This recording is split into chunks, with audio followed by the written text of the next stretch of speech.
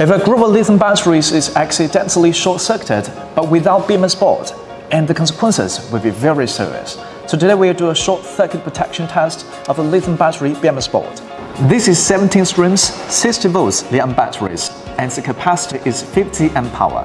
Then we choose a 70 streams, 60 volts BMS board, and discharge current is 60 ampere. And now we can use a multimeter to check the real voltage before the BMS board and after the BMS board. And now we can see before the BMS board, we can see the total voltage of this battery pack is 61.3 volts. And after the BMS board, you can see the voltage of this battery now is 61.3 volts.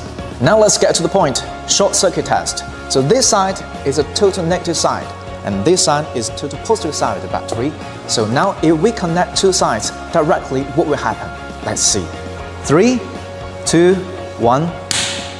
And now you can see even though there's a little spot here, the short circuit protection of the BMS board was activated. And that means if you connect these two sides directly, it's okay.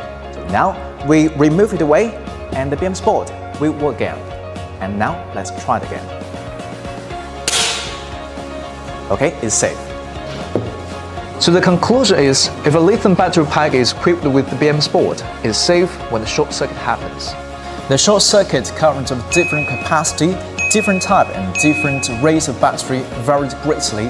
The short circuit cut-off time of a BMS board is generally 200 microseconds to 500 microseconds. If the short circuit current is too large with this time, the instantaneous power will exceed the range that MOS tube in the BMS board can withstand and then the most to crystal source will be burned, and that is the board will be fired. Like this group lithium battery pack, the BMS board discharge current is 60 ampere. If we change it to 20 ampere, when a short circuit happens, it will be burned. The smaller the overall internal resistance is, the greater the current will be produced during the short circuit. You can refer to the following formula current is equal to voltage divided by internal resistance. At the beginning of the design, the short circuit current of the normal BMS board should not be more than 7 times of the continuous current of the BMS board.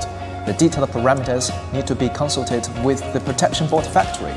So, when we finish assembling a battery pack, in order to ensure the product quality, we also have a short circuit test for the BMS board.